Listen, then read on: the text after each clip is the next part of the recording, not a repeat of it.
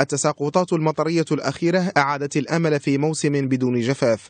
حقيبة السدود ارتفعت بشكل ملحوظ بعد تسجيلها النصف الأول من الموسم الفلاحي لعجز يتراوح ما بين 40 إلى 60% نسبة ملء السدود حاليا آه، تقدر كمعدل وطني ب 61% وهي تختلف حسب المناطق من طبيعه الحال.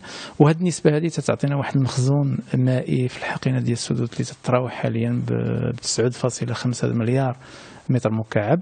وهذا الحجم هذا غادي يمكننا إن شاء الله من تزويد المدن بالماء الصالح للشرب وكذلك المركبات السياحية والصناعية المرتبطة بالسدود خلال السنوات المقبلة في ظروف جيدة. وكذلك سيمكننا خصوصا السدود الموجهة إلى السقي ستمكننا من تلبية الحاجيات ديال جميع الدوائر السقوية الكبرى المرتبطة بالسدود. رغم الاطمئنان الذي خلفه ارتفاع نسبة ملء السدود فإن المصالح المختصة تشير إلى أن تساقطات شهري فبراير ومارس هي ذات وقع محدود بسبب تباعد الفترات الممطرة.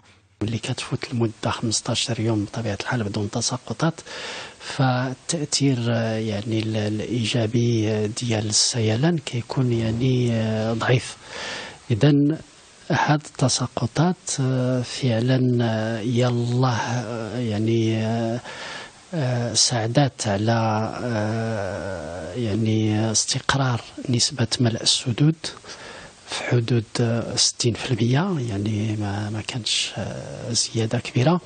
لكن هذا الملء هذا بطبيعة الحال غيساعدنا على يعني سنه باش هذه السنة تكون يعني طبيعية فلاحيا.